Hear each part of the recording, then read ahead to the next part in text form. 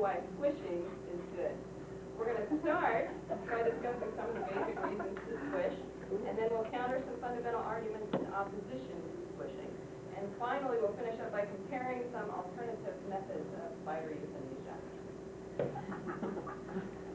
Reasons to squish. Spiders are creepy. Scientists don't even dispute the fact that spiders are creepy. Also scary, which is why movies like Indiana Jones and countless horror movies have that gratuitous spider scene in them, and why movies like Arachnophobia are so popular. Shut that down. Thank you. Spiders also spin webs. Webs are creepy and scary. Have you ever been walking down a trail in the forest or in your garden, and next thing you know, you're just covered in webs, and they're in your face and in your mouth? You.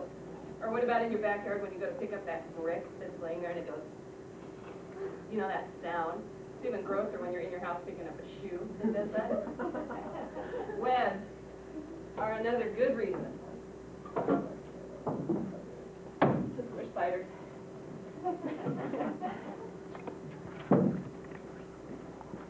Some spiders, actually almost all spiders, are poisonous. Did you know there's only one variety of spiders that is not poisonous? The rest are toxic. The black widow spider's venom is 15 times more powerful than the venom of a rattlesnake. Little fact for you. Now, some other interesting facts. In 1994, a statistical survey on spider bites was done by the Center for Disease Control and Epidemiology and the Oregon Health and Human Resources Department using research that was compiled by Poison Control Centers, the American Association of Poison Control Centers. They discovered that even though the population of the United States, it, only 4% of the population of the United States, I should say, lives in the Pacific Northwest, but more than 10% of all reported spider bites happen right here. Some other neat little statistics on the back of that. In my book, that's more good reason to squish.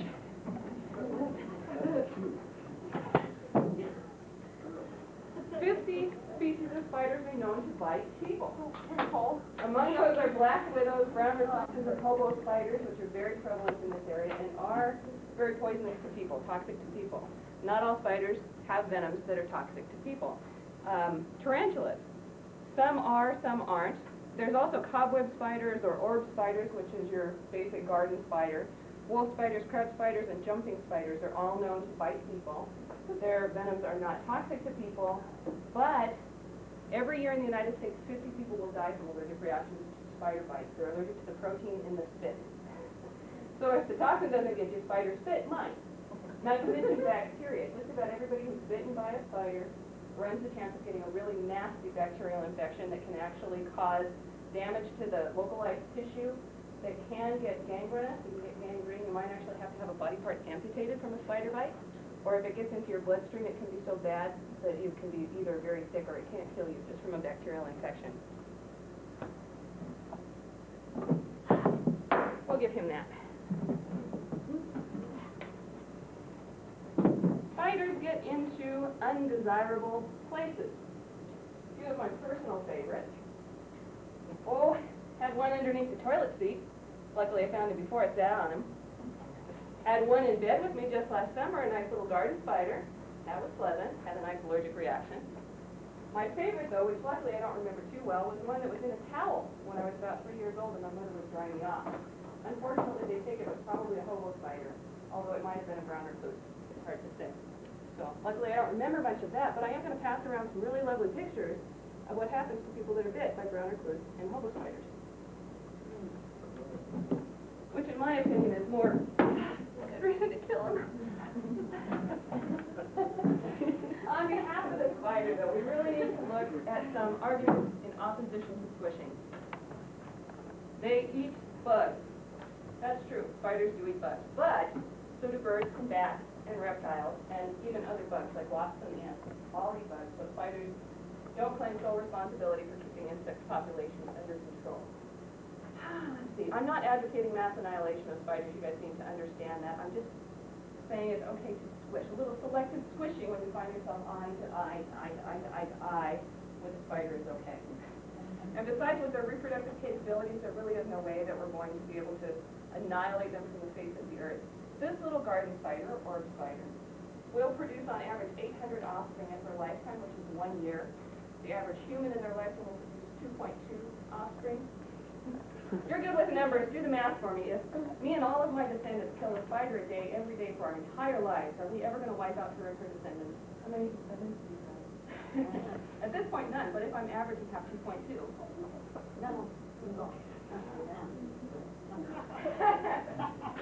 Those are awfully big numbers. The, the answer to that is no. So, it's not gonna hurt you to squish one or two. Another argument in opposition on squishing is they're God's creatures, which is true, they are God's creatures. So are exterminators. With the reproductive capabilities of spiders, I don't think that either one is likely to become extinct.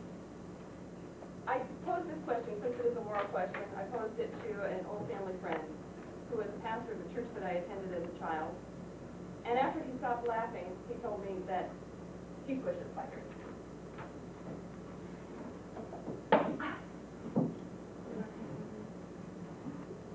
Let's look at some alternatives to squishing, such as chemical insecticides. I think just about everybody knows that these are hazardous materials. They get into the soil where we grow our foods and they get into water supplies. You can't really control where they go. They're definitely not safe to use in your house. If it's just one little spider that you want to kill, it's not a good alternative to squishing. Vacuuming, one of my personal favorites until I discovered that they're little escape artists and they just usually find their way right back out. So now they have those bug vacs so that you can peck them in from a distance and they have that one-way valve so they can't get out. Well, then what happens to the poor little thing? Over days or weeks, they starve to death. Look at this face! Do you want this poor little guy to starve to death? No, I'd rather squish him. Other alternatives, catch and release, which I do with other bugs. Catch and suffocate, which Christina showed us in her little bug speech. Or catch and flush. All good alternatives except for one thing. They all involve hatching. No, thank you. This is a fun one that I found while doing research for this speech. An article that came out of a newspaper January of this year where a convicted arsonist admitted that he set fire to a church while burning spiders. Not a good alternative to squishing. Squishing is good. Today you've heard my reasons for squishing spiders, and I'm sure that if you give it a little bit of thought, you can probably think of plenty more of your own. And on behalf of the spider, we've also looked at a couple of arguments in opposition to squishing, as well as some alternatives to squishing, which are by and large not only more cruel to the spider, but also less effective and less safe than squishing. With that in mind, thinking about Little Miss Muffet, I'd like to ponder a little something. Can I have the case turned on, please? I like them before they match.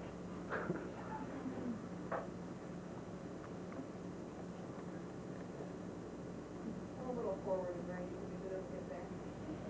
Do we have it down? That's great.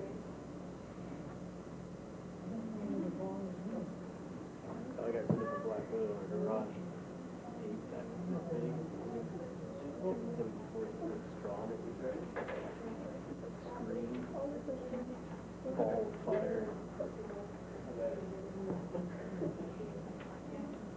Technical difficulties, sorry.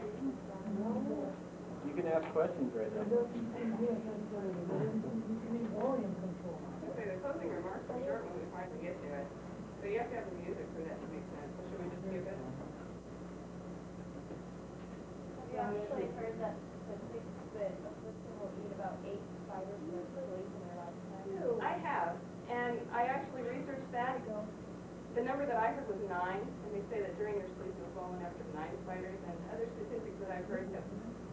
12.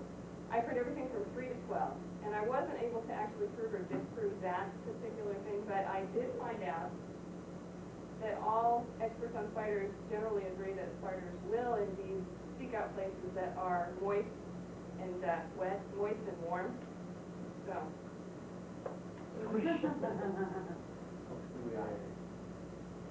We're kind of missing full impact of sound. Oh, yeah ponder this. if you're sitting on your tuffet, eating curds and whey, use your running shoes for squishing and you'll have a better day. Yeah.